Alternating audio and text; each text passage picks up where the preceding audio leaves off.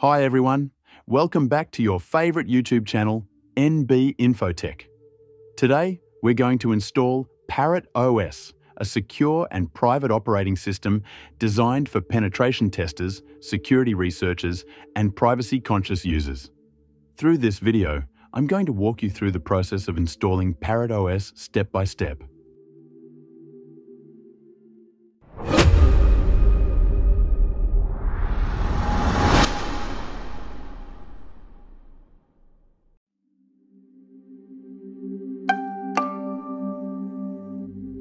Let's download the ISO image from the Parrot OS website. There is a link to a web page in the description. You can choose from various categories like Live, Virtual, IoT, Docker, Debian conversion script, and WSL. Parrot OS mainly comes with two editions. First is Security Edition, and second is Home Edition. We'll go with Security Edition ISO image.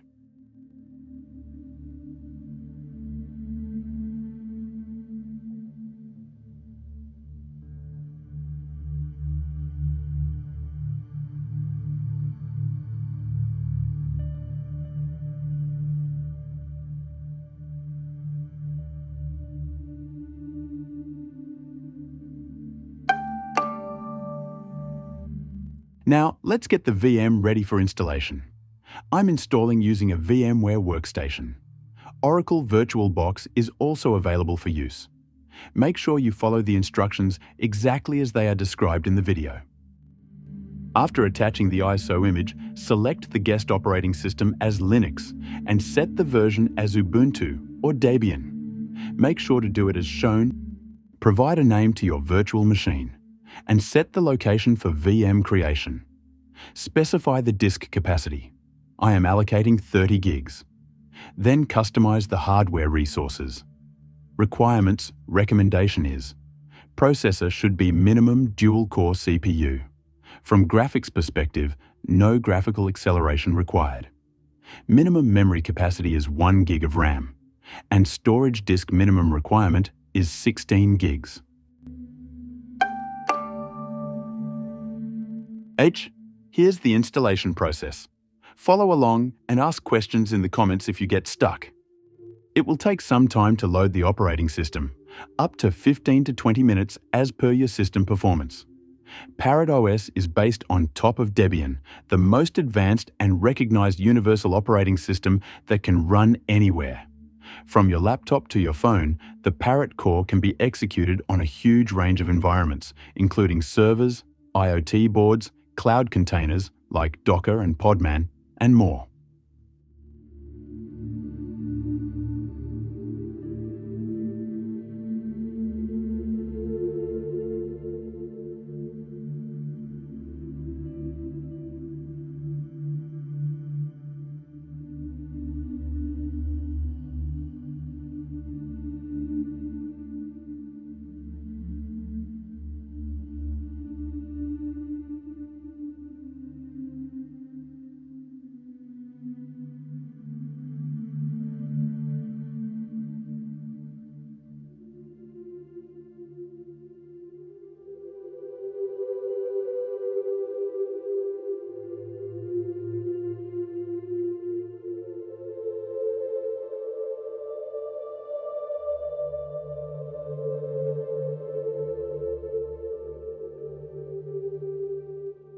Select language, keyboard layout, time zone, you can perform manual partitioning for available storage disk. Select bootloader location to master boot record MBR. It is widely supported by VMware and other virtualization platforms. MBR is easier to configure and manage compared to other bootloader locations. MBR allows for multiple operating systems to coexist on the same virtual disk. Keeping the bootloader separate from the system partition helps prevent accidental formatting or deletion of the bootloader. MBR allows for easier dual boot or multi-boot configurations. After creating a user account and selecting a strong password for security, click Install. Depending on the speed and setup of your machine, it will take some time.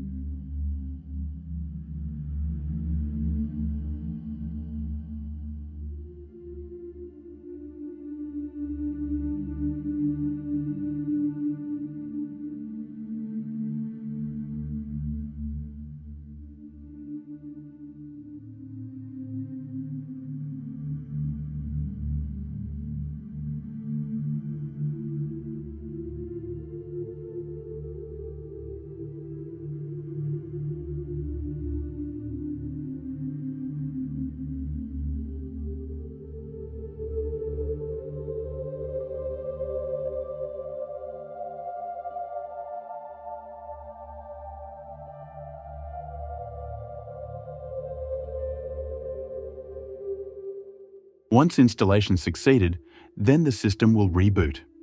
If you are connected to the internet, it will ask you to update the operating system. This is the first thing that you should be done on priority, because updating system will automatically mitigate any known vulnerabilities and upgrades the packages. You can do this manually by running upgrade command as well.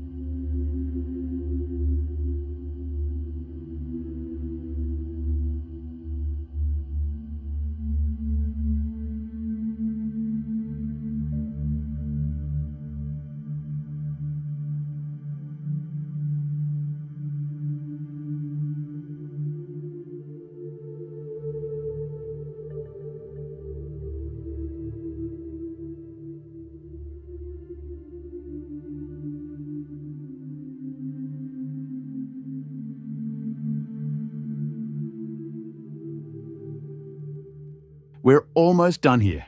Now tell me what additional tools will you install first? Share your favorites. That's it. You now have Parrot OS up and running. What do you think of Parrot OS? Share your first impressions. Don't forget to like, comment, and subscribe for more cybersecurity content. Thanks for watching NB Infotech. Join us next time for more exciting cybersecurity tutorials and reviews.